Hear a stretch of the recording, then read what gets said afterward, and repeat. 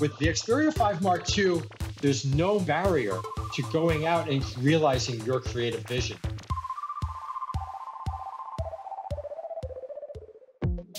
Sony developers and engineers have combined valuable input from consumers and professionals alike with expertise of decades of experience in professional cinematography to bring high-level capabilities to the Xperia 5 Mark II. In this masterclass, we explore the intersection of technical capability and raw creative potential with the help of two industry professionals on opposite sides of the globe. I'm Tetsuya Bessho. I am an actor and also a radio navigator. And I organize an international short film festival. It's called the Short Short Film Festival in Asia. It is accredited by the Academy Awards, and it's one of the largest international short film festival in Asia. My name is Jeff Berlin.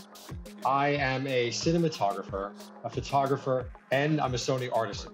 I shoot on really almost every Sony camera that there is. One day I could be on the Venice, Another day I might be on an alpha camera. And then I've just recently completed a couple projects on the Xperia. Today, luckily, I'm speaking with the cinematographer in Hollywood, Jeff Berlin. Can I call you Jeff? You can call me Jeff. Can I call you Tetsu? Yeah, sure. Call me Tetsu. okay, I've heard that uh, you have uh, recently produced a multiple short film with Xperia smartphone uh, which includes the latest Xperia 5 Mark II. Can you tell us a little bit about the, your experience with the camera? Most recently, I shot a dance project out in Palm Springs, and that was a lot of fun.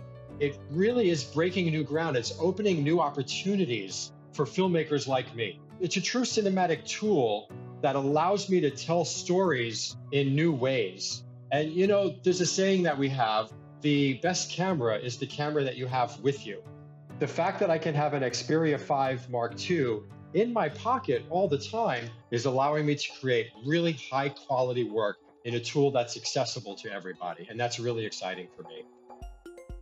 The fact that I have amazing image quality and that I can capture amazing audio quality in the same device is a really big deal. So with the wind noise filtering, that's really, really kind of cool to me.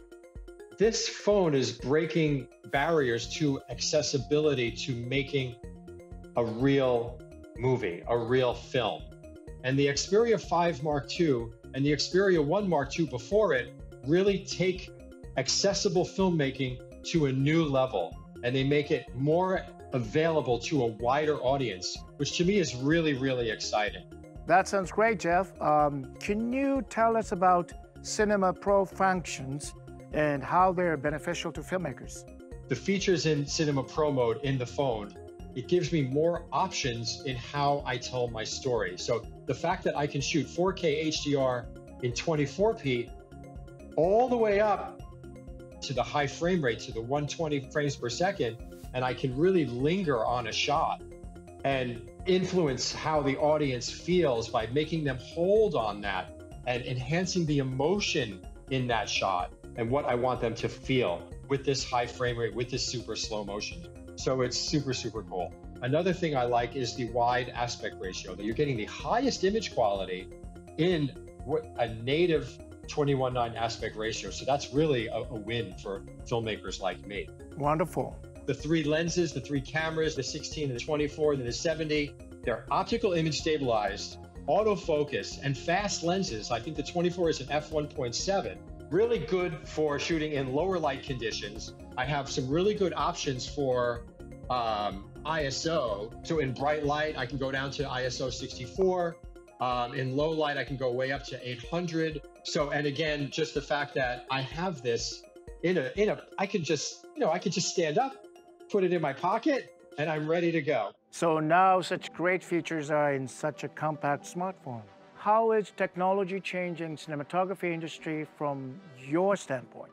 So Tetsuya, you know, one of the things that is so interesting to me about this phone is that it increases the democratization of filmmaking. It gives young and fledgling filmmakers an actual real cinematic tool that they can shoot their projects with and realize their creative visions.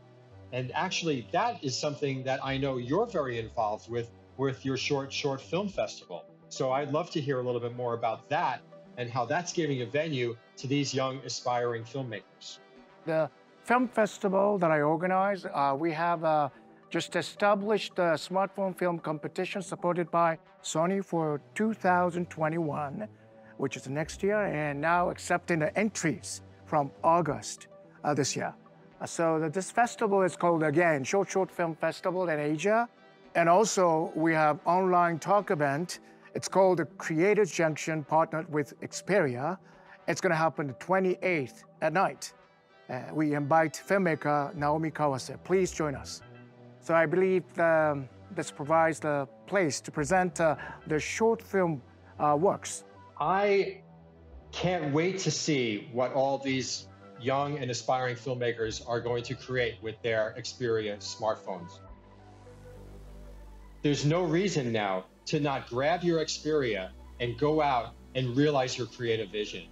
There's no barrier to going out and creating a film that can be shown in a theater. I think you're falling in love with uh, with your smartphone already.